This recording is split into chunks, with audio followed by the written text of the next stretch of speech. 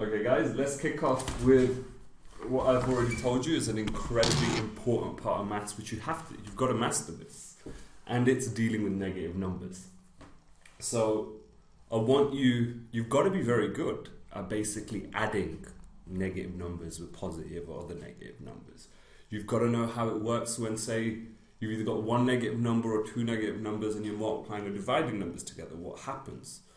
And also, you've got to, if you look at number two here, which hopefully you can see me circling around about, if, if there's any part of you which is not 100% sure how to do this, then you've got to get to know this. Because here's the deal I'll be straightforward with you. You're not going to get a question like that directly in the exam.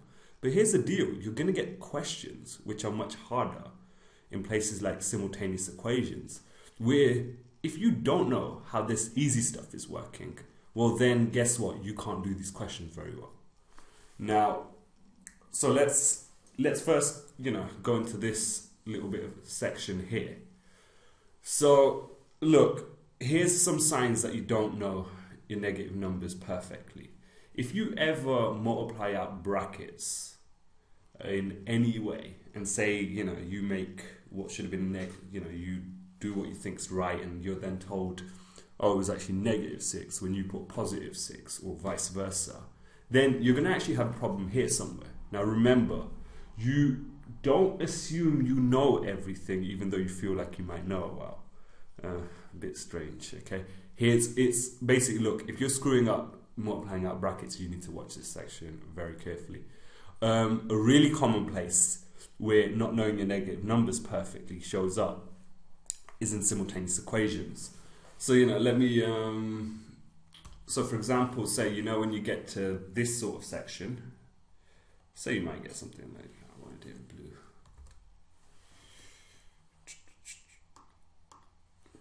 Okay. So, say you're to have to bear with me. I'm still new to this uh, software. All right. So imagine, yeah, for a second that say you get to something like this. By the way, I'm not sure if this solves or not, but I'm just kind of showing you for illustrative purposes. Right, so if you ever get to the point where you say like equal your y's or your x's, it could be, and then you keep finding it a little bit, you know, that bit keeps screwing you up because you like do sometimes you minus it, and you know you think it's right, but the answer never you know check the answers or someone tells you it's wrong. Guess what? You don't understand negative numbers somewhere, so you're going to be important. So and here's the deal. So let's go to this. I also want to tell you about something which a lot of people don't know, which is maybe because you haven't been taught well or doesn't really matter. But I'm guessing you guys know that two positives make a positive and positive and negative doesn't really matter what order it in always gives you negative and two negatives give you a positive. If you guys don't know that? You need to speak to me personally. But yeah assuming you do know that there are actually two places two times which you have to know where that works and only two no other time. If you're not 100% sure as soon as I say that which two it is you need to watch this video. If everything I've said to you is perfect you know, you never have an issue with the simultaneous equations at this stage. You never mess up the bracket stuff, even for things like this, you know. So you got stuff like yeah, if you can do that perfectly and you don't screw up the little sign thing here, then yeah, and you're very confident with what I'm saying. Sometimes none of this is a guess what you can probably skip it probably. But if you do want to stay on the safe side, do watch this video because there's the thing, once you watch this video, you will know it all. So, right, let's kick off. Let's talk about the only two times you need to know when to use negative number. Uh, sorry, to use these this table. So let's go.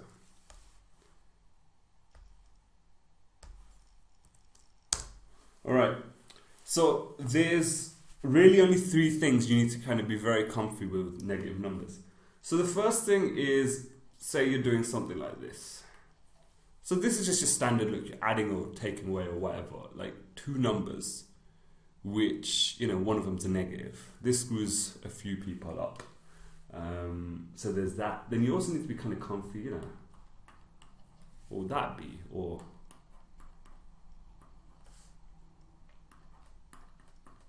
you get my point, right? When you're multiplying or dividing as well, actually, that's a good point. You know, what are these going to become? What signs they're going to have, etc., etc. So, you know, it really kind of breaks down. And finally, here's the last thing. So, okay, so there's three things going on here which we need to kind of be comfy with. So, the first one is just adding or subtracting. Yeah, numbers where one or both. Yeah. Uh, by the way, I could have done this as well. I'm not going to bother changing a thing. I know, I know. Um, okay, so adding, subtracting two numbers where one or both of them is negative, so you've got to get very comfy with that. Um, this one is multiplying or dividing numbers. And again, it's where either one or both, could have also had this, I guess. Yeah, where one or both of the numbers are positive or negative. What am I talking about? Either where either one or both are negative. Now here's the next one. What to do when two signs are next to each other?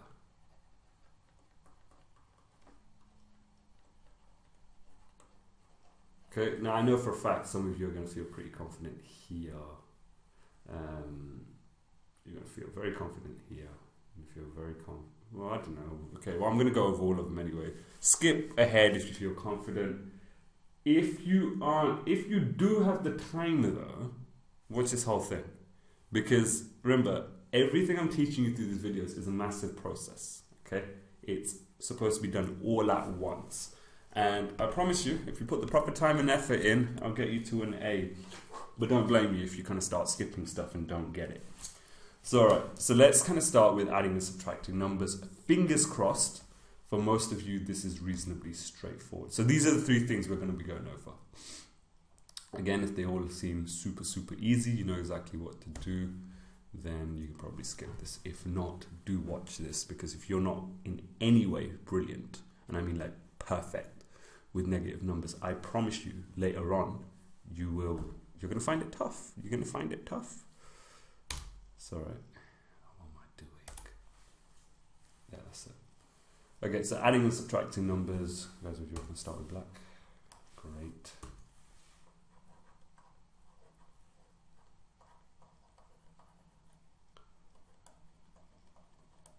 All right, so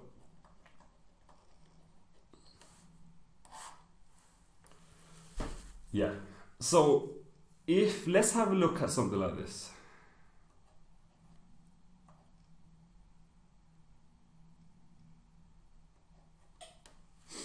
Five minus seven.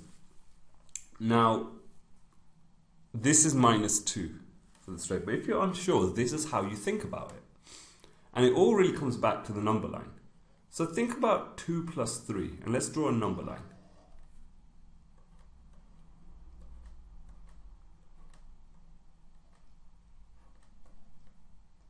What a number line, huh? Ain't that pretty? And obviously so on, and don't forget this will be like minus 1, minus 2. So the way I want you to kind of see 2 plus 3, and obviously you guys know that equals 5, but let's think why that equals 5. So here's the way I want you to kind of start looking at it. So your first number, this 2, I want you to think about as your starting point on the number line. So you see, so look, this is where we start. Now it doesn't matter if that was minus 4, everything like that. Your first number, whether it's plus 2, in reality, by the way, guys, you should actually know, and this will be a massive recurring theme as you kind of see, that just because, you know, there's no sign in front of the 2, that means in reality there's a plus there. So it's actually when you, someone says 2 plus 3, they're actually saying plus 2 plus 3. But anyway, so, and that's what, you know, so that's your first number is the starting point. Now, the next number, not number, sorry, your sign, your plus, all that is, is that tells you which direction we're going to be moving along the number line. So plus basically is telling you go that way. Okay, and the other one obviously is as you can guess. Sorry, multitasking isn't my best thing. They are the most rubbish now uh, colors to use, but you get my point, right?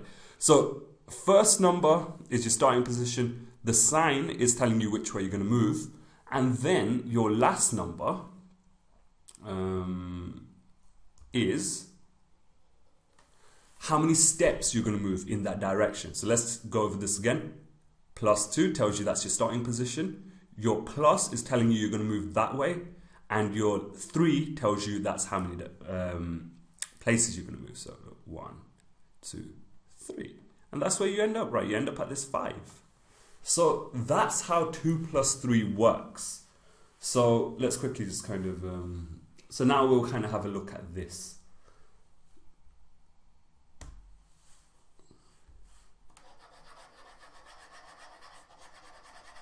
How nice is that? All right, so let's have a look at this. And by the way, I'm going to go over loads of um, examples. I'd rather you get bored than actually be unsure what to do. So manage that yourself. Right. So 5 minus 7. So again, look, think of this as the number line. This is going to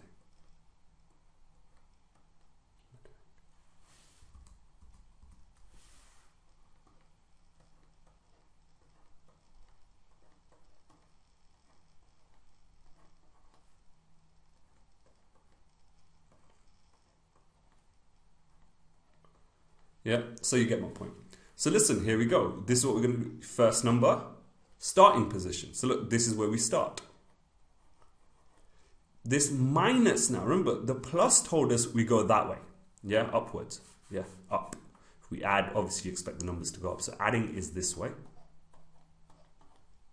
But that, and remember, the opposite direction is minus, and that's exactly what we've got here.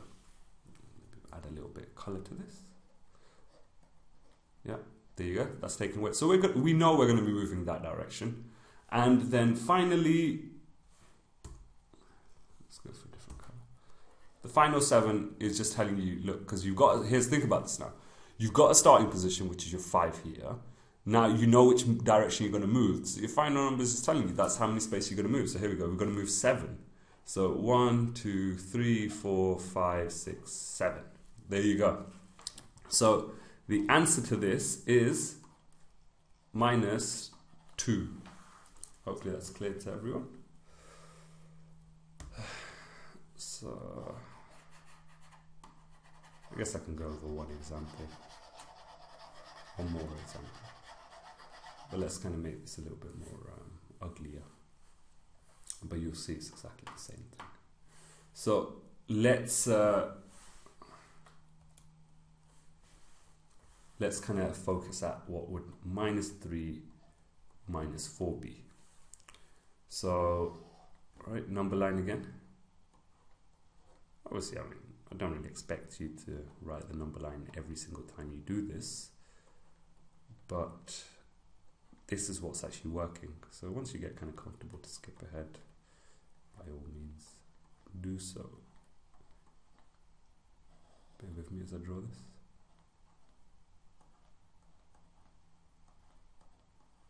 Right, so let's have a look at this. Your first number is your starting position. Here's the deal, because there is a minus in front of it, your starting number is minus 3.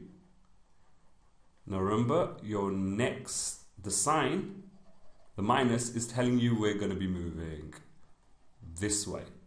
And now the final number, which is now just a 4, because the sign is just the you know uh, direction, it's telling us we're going to move forward uh, four steps, and we know it's going to be in this direction. So here we go. One, two, three, four. So that's your answer, minus seven. So hopefully that helps you clear it up. Um, now what I'm going to do, do showing you is a bonus quit uh, bonus trick to how to do this quickly. So all right, let's have a look at a way you can do this very quickly. But look, I want to show you this because this is how it's actually working. But here's another real quick way you can do it. No. So say you're not sure how to do, let's say, minus four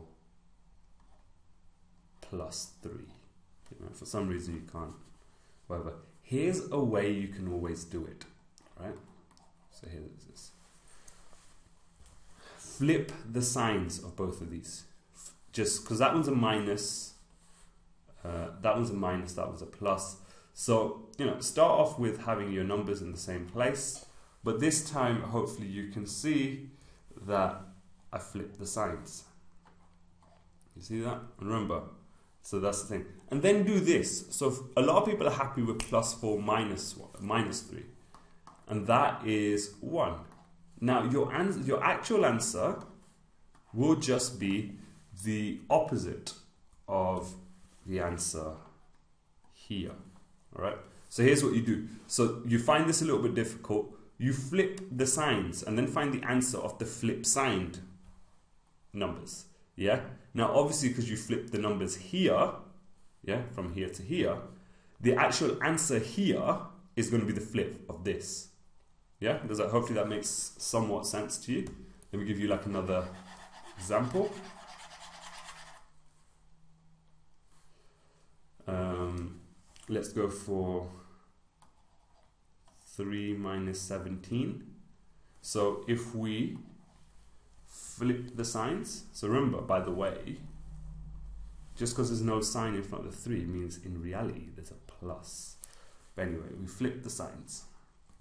So now we have minus 3 plus 17. Now, this is the exact same as saying plus 17 minus 3. Now, if that's confused you, literally all I've done is just reshuffled this. Literally reshuffled this. Uh, plus 3 and minus, plus 17 minus 3. You can do that anytime. Again, if you're unsure about that, I can't really talk to me in person. All right, because that does um, trick, uh, trip a few people up. But anyway, look. So you flip the signs. Minus three plus seventeen is still like a bit of a you know not so obvious way of doing it. But if you just kind of move them around a little bit, you get plus three minus uh, sorry plus seventeen minus three. Now most people are happy that's fourteen. So you found the answer of the flipped version of this question. So the real answer is actually just the flipped of that minus 14. What's happened here? Yeah, minus 14. Um,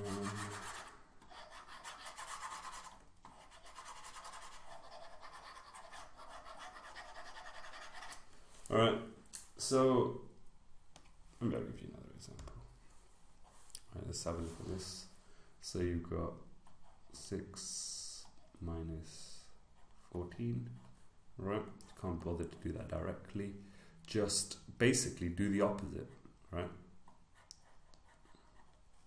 So think about minus 6 plus 14. Yeah, this is the same as saying uh, 14 minus 6. So I just left the plus there, you don't need to have it. That gives you 8. So the answer to this is minus 8. Okay? So hopefully that's clear.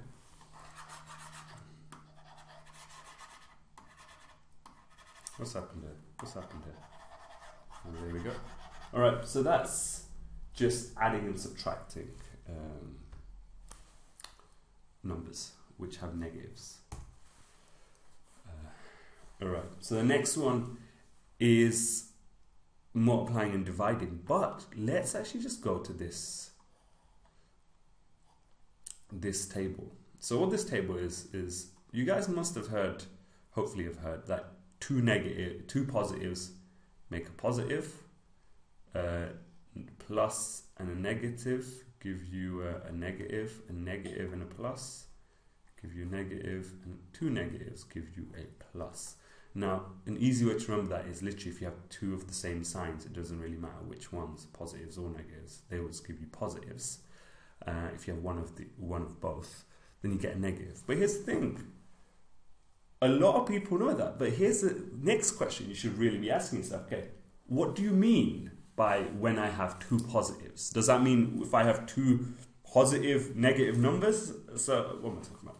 So, say I've got two positive numbers. Uh, so, if I have minus 7, minus 3, is that going to give me what? Minus, is that going to give me plus 10 or something like this? You know, because I've got two negatives here. Is that going to make a plus?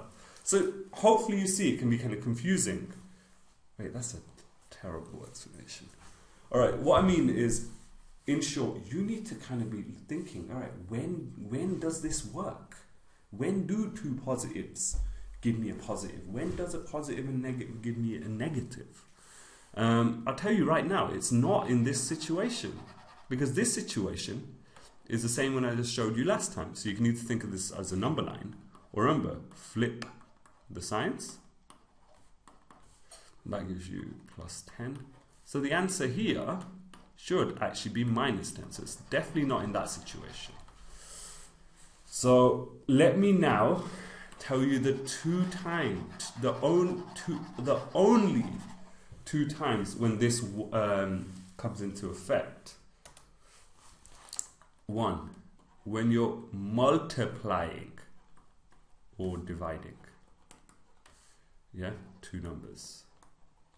The second time is whenever two signs are next to each other. Okay, so let me kind of explain this. So, say you're trying to multiply two numbers. Now, think about this, yeah? You know, 2 times 3. What is that? A lot of you probably saying 6. But let me actually explain why that is. And the reality of this is, is first, you've got to be comfy knowing that whenever you multiply or divide two numbers, you, you know, that's when this table comes into effect. So look, 2 times 3, in reality what that is, that's a plus 2 and that's a plus 3. So look, I'm multiplying two numbers. Both are positives. Guess what? My answer is positive. And obviously then I just treat the 2 times 3, which is 6. So that's what's actually happening. So now, if I was doing minus 2 times 3, here's how you'd work it out. You would first uh, think about, all right, what signs do my two numbers have? Now, don't even bother about the numbers just yet. And here's what you've got to be clear with yourself. Well, this one's clearly a negative, right? And obviously, because this has no sign in front of it, it's actually a plus 3. So here we go. So I've got positive times a negative. So already, for my answer, I know it's going to be negative. And here's all you do after that. The second part, so the first stage, you just figure out what sign it's going to be. The next one, ignore the signs and just do what 2 times 3 would be. That's 6. So that's how you get your answer. It's a two part thing. First, just think about what sign your answer is going to be, then ignore the signs and just um, multiply the two numbers as if there were no signs, 2 times 3 and stuff. That gives you 6, alright? So this is minus 6. So let's do another example. And again, this is with me just multiplying. The same goes for dividing. So say that I'm doing minus 10 divided by 2.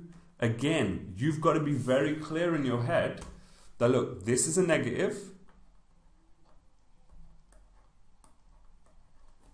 and this is a positive. Yeah, just because there's no sign doesn't mean it's not there. So this, I know my answer because I've got a positive and a negative. My answer, so look, positive and negative, always gives me a negative. So I, can, I already know my answer is going to have a negative. Then, in a way, in your head, this is what you should do. Don't bother with the signs. Yeah, ignore them. Then it's just 10 divided by 2, which is 5. So your answer is minus 5. Uh, quick note, hopefully all of you are comfy knowing that, um, you know, say if I write this, this actually means 5 divided by 2. And uh, so you guys should be very happy because, um, you know, you, you shouldn't really in GCSE ever be using the divide sign. You should be just using it as this, with fraction signs. And literally a fraction, so if you have like 5 over 10, if you put that into a calculator, you'll notice that that's uh, it will give you 0.5 And the reason why is it's actually the same as saying 5 divided by 10, which again, put it into the calculator, 5 divided by 10, it's the exact same thing. Um, yeah, so let's do one or two more quick examples. I'll uh, wrap it up there basically. Um, Alright, so say you've got minus 6 over 2. So again, look, minus positive. Answer is going to be negative because minus, minus positive always gives me a negative. Then ignore the sign. Yeah, in reality there's a plus there, but I want to ignore it at this point. Anyway, 6 divided by 2 gives you 3. Um, let's do a few double minuses as well. So minus 4 times minus 5. Here again, look, two numbers multiplying by themselves. You've got negative times negative. Yeah, negative negative gives you plus. So your answer is going to be a plus. You know, you don't even have to put that plus, but whatever. And then ignore that for a sec. Ignore the signs. 4 times 5 is 20. There you go. So the answer is plus 20, which you don't need to write the plus. So yeah, the answer is 20. Exact same thing for dividing. So say you've got uh, minus 30 divided by minus 6. Okay, remember we are multiplying or dividing two numbers, so this uh, table here is going to work. So mi minus divided by minus, uh, yeah, minus minus gives you plus. I, mean, I know it's probably going to seem like bloody obvious by now, but it's a good thing. So that's going to be a plus. Uh, don't worry about the sign, say divided by 6 is 5. So your answer is just Okay, so that's the first um, example of when it comes into use. So let's just wipe all. Now let me kind of tell you the other, the other. So most people know that anyway. They're quite comfortable with that. So now let's kind of go on to the next bit, which is whenever two signs are next to each other. Um, so this is when you kind of say three say you're doing 3 take away minus 2. Now, remember, only times you kind of switch between signs is if you're multiplying divided by two numbers, which is talking about, and whenever two signs are next to each other. So, clearly here, oh, yeah, clearly you can see that two signs are next to each other. Well, guess what? This table in this sense says instead of writing those two minuses, just replace it with a plus. So this is literally what it becomes. Yeah. So 3 minus minus 2 is the same as saying 3 plus 2, which is 5. Now, why, you know, I mean, I can quickly tell you why that is. So was, the reason for this is exactly the same as this.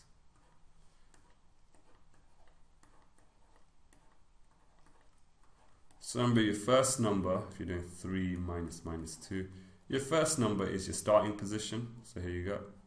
Your first minus tells you to go that way. But now when you have a second minus, what it does, it kind of like switches it the other way. Yeah, and 2 tells you to go that way. But here's the thing, you don't even need to bother knowing that. Just know that if two signs are next to each other, you can literally replace them from this thing, table.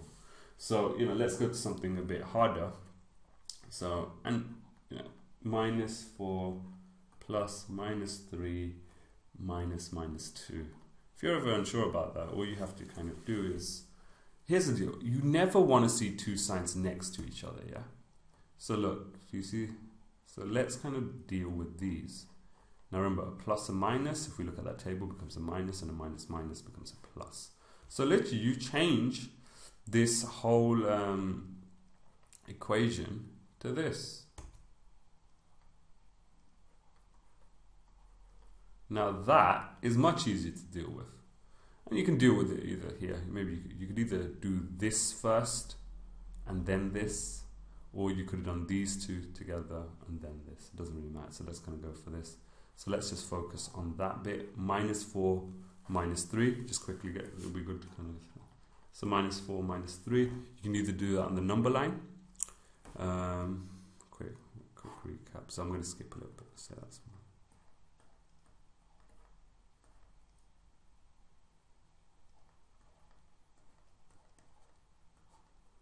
imagine that mess just there. So look, minus 4 is your starting position. Minus tells you you're going to be going that way. Then this 3 tells you that's how many direction, uh, how many steps. One, two, three. It's minus 7. Okay? The other way you could have done it is, you know what, if you find this hard to do, you look at, well, what if I switch the signs? Yeah, plus 4 plus 3, that's 7. Yeah, so remember, because you switch the signs here, the answer is also going to have switch signs. So hopefully you can kind of see that way as well. It's going to be minus 7. So, you know, this whole bit, yeah, everything inside here becomes a minus 7 plus 2. And minus 7 plus 2, hopefully by this time, you know, you're kind of comfy with that. It's going to give you minus 5. So they literally, that's literally every, um, that's how minuses and negatives work. Uh, what am I talking about? How to deal with negative numbers, that's what I meant.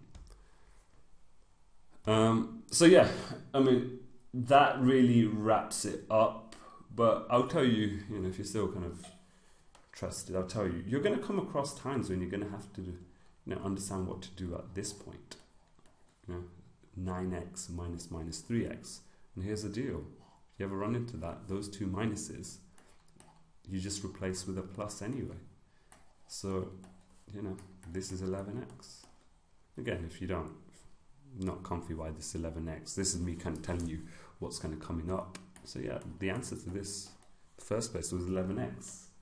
Um, yeah, and you're going to see this as well. A lot of people, we'll go over this very quickly as well.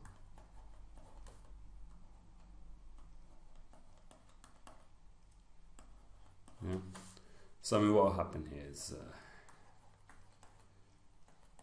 the first bracket ends up going. Then what you'll kind of later see is because there's a plus there, it's going to be minus 2 times plus, uh, 2x, which will give you minus 4x, uh, minus 2 plus, times plus 3 give you minus 6. A lot of people make a mistake of not adding that in.